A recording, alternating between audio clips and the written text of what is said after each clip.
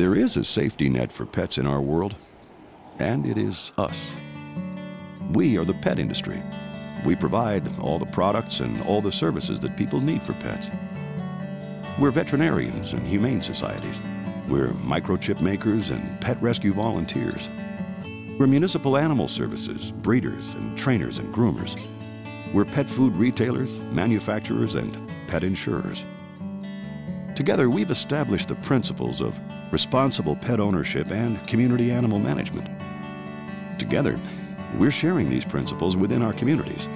Our various pet identification and registry services, our tattoos, licenses, and chips and photos are helping responsible pet owners keep track of their pets. And better yet, our registries often help owners recover their pets when they go missing.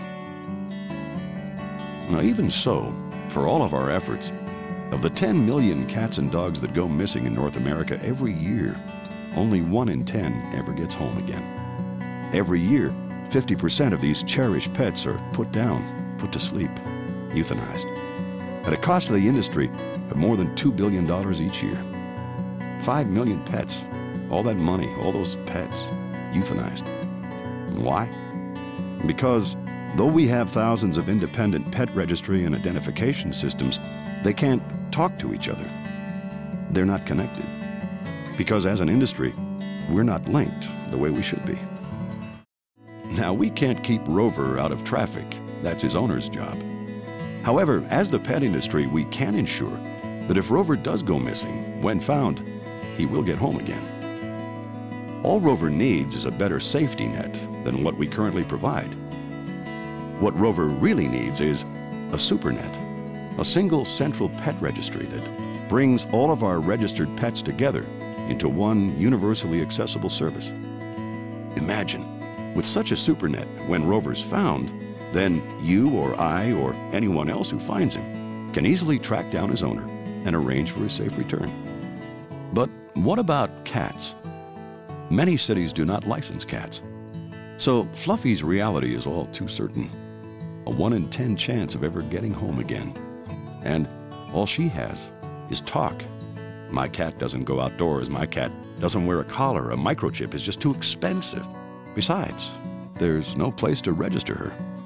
Well, Fluffy needs no more talk. She needs action. If Fluffy was registered, a supernet would work for her too.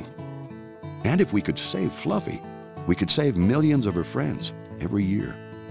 Well, the great news is now we can. There already is a supernet. Humane societies in Canada already support it. Pet retailers, vet associations, and pet insurance companies are adopting its services. Now, they like the fact that the SuperNet is industry neutral, completely transparent, and universally accessible. It saves the industry money, time, and effort. But best of all, it's proven, tested, and ready for all sectors of the pet industry. As much as the fluffies and rovers of our world need a supernet, their owners need it even more because they desperately want their lost pets returned to them. Look around you. As members of the pet industry, we're already a vital part of the solution.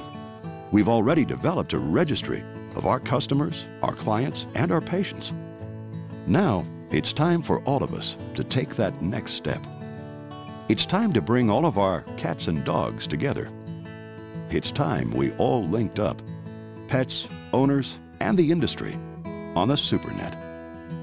PetLynx, the SuperNet for pets and people. PetLynx, we can help you do a whole lot of things better.